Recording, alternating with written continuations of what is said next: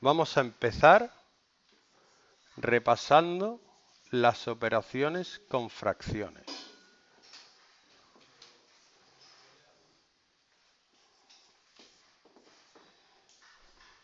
¿Te acuerdas cómo se hacía esto no? Ni idea. Bueno, algoritmo. 1. Se hace el mínimo común múltiplo de los denominadores.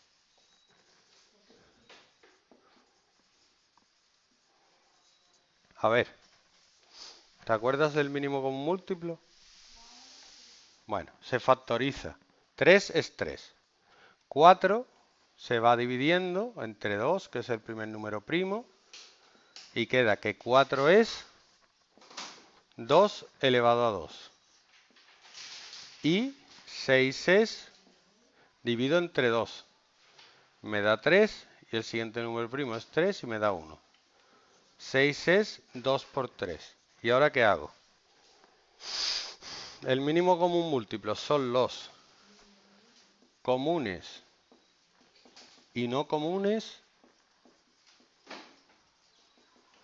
al mayor exponente.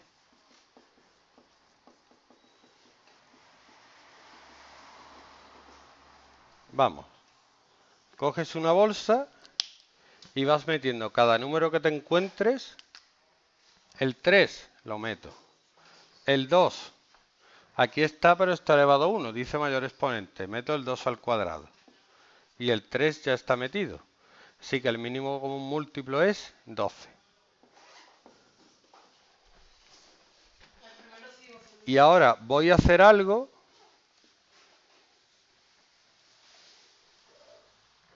como no lo hace nadie en el mundo. Multiplico cada fracción por el mínimo común múltiplo.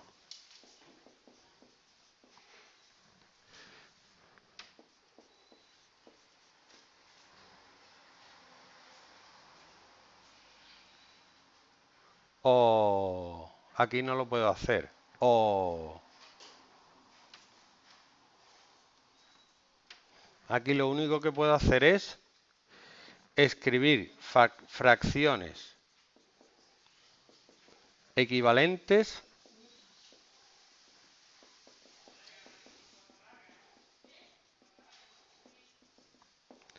con el mínimo común múltiplo como denominador.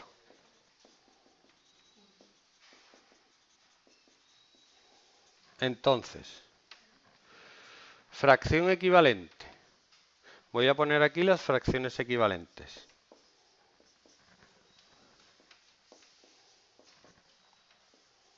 Fracción equivalente a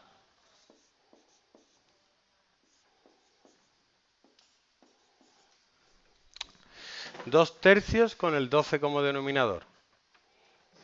Si aquí he multiplicado por 4 para llegar a 12, aquí tengo que multiplicar por 4. Si aquí he multiplicado por 3, aquí multiplico por 3. Y si aquí he multiplicado por 2, aquí multiplico por 2.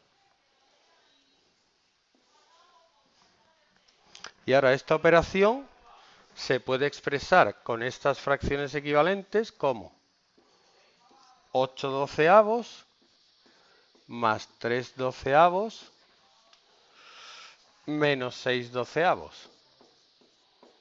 8 más 3, 11, menos 6, 5. 5 doceavos.